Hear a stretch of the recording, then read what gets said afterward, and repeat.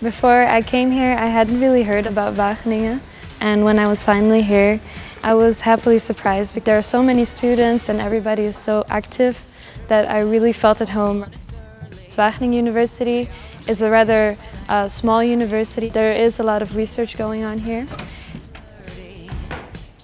I like the fact that I had personal contact with my teachers. Looks nice.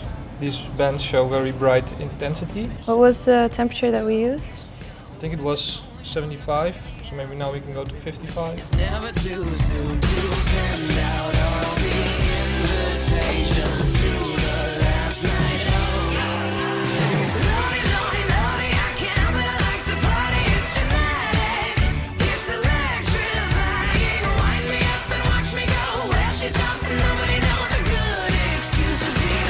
I came here because I think Wageningen University is one of the leading uh, university in life science.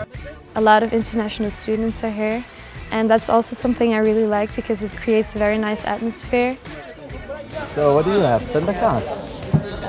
Tentakas, right? We do a lot of group works and it gives you time to interact with other students and to get help from fellow students.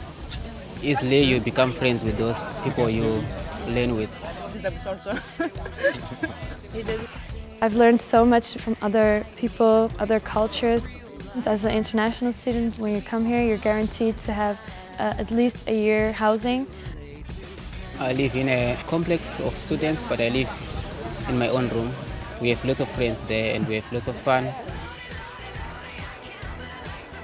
I'm on the promotion committee at ESN, which is for Erasmus students, exchange students. It's also for Dutch students and it's actually to bring the international students and the Dutch students together. We usually have kitchens almost every week. So for instance, next week is the Brazilian kitchen and then Brazilian students will prepare a whole dinner. There's a lot to do in Wageningen.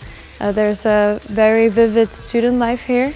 Hello! There are a lot of student parties throughout the week. We have a lot of bars and pubs in the center on the market, so you can just hang out with friends there.